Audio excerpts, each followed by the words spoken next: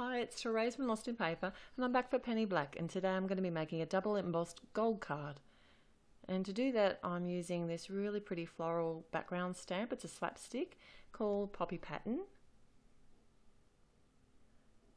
And I'm going to start working on my first layer of gold. So I'm using my Versamark ink and I'm, and I'm actually working on my work surface because it's such a large stamp it's much easier I find it much easier to do this than try and mount it onto my stamp press or onto a block because then I can just add the cardstock directly over top. And I like to use my brayer to make sure that I get a good impression on the large stamps.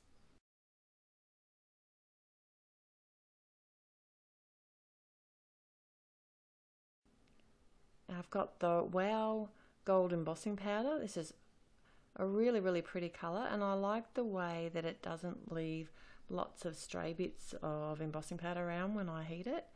It melts so beautifully. I'm working on a pale pink cardstock. I think it's a Bazzill one. Now for my second layer of gold embossing I've got some strips of embossing oh no strips of masking paper sorry to create some embossed gold stripes over top. Now these are from Judikins and the good thing about using these is I know my stripes are going to be the same width and I'm just adding some more Versamark ink directly over the previously embossed area and onto the cardstock to create my stripes. I'll just add some more embossing powder. It's the same gold I'm using again and then I can hit it with my heat tool and look at that isn't that gold just the prettiest thing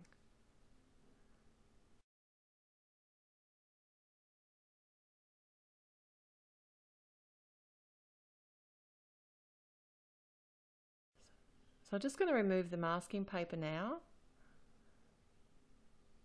And I don't know if you can see it, but it has actually removed a little bit of gold embossing in a couple of areas. But that's okay, I'll sort that out or cover it up with the embellishments. So now I'm just cutting down the panel to fit the front of my card. And I've got some Ranger. This is the classic cherry. It's a really pretty red. And I'm going to do the same thing. I've just left my stamp on the work surface and then adding my white cardstock straight over top. And then I can cut my flowers out and I'm not being really particular with these flowers. I am leaving a small border around them, but I don't want them to look perfect. And I'm going to start working on my sentiment, and this is from the Good Day set. And it's hard to see at the moment, but it actually says thank you. Well, you might be able to see it in a minute. Well, I know you'll be able to see it in a minute because I'm going to add some powder to it. And I'm working on the smooth side of some Bazzill cardstock. This is a black. There you go. Now you can see it. And I've used the powder tool because black cardstock is notorious for showing bits of embossing powder. So then I can just cut this down, ready to go on my card front. And this is where I get to move stuff around for a little while and work out where I want to put my bits and pieces. And I know that this panel is going to cover the whole front of my card. So I'm using my stamp runner and this is a really strong adhesive and is perfect for this because of the warping that's being caused from the heat embossing.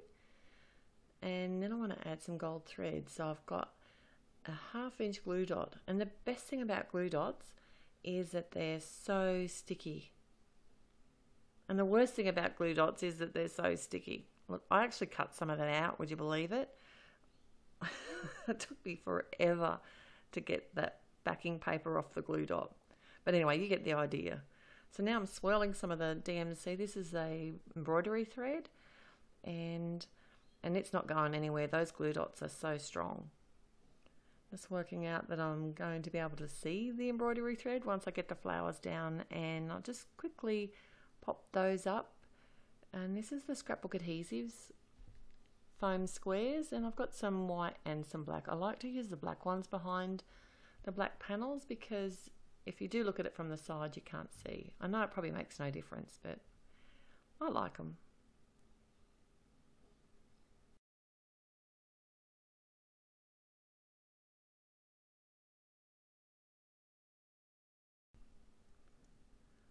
I also decided to add some Annabelle sprinkles and because I'm putting these onto some embossed areas, I'm using the Multi-Matte Medium.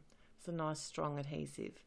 And for a final touch, I've got some liquid glue. What's that one? That was the Tombow one to add a small black strip of cardstock across the top of the card. So now I'm done. Look at all that shimmer. Isn't it so pretty? Thanks for joining me today. I've had heaps of fun and I'll catch you real soon. So till then, happy paper crafting. Bye.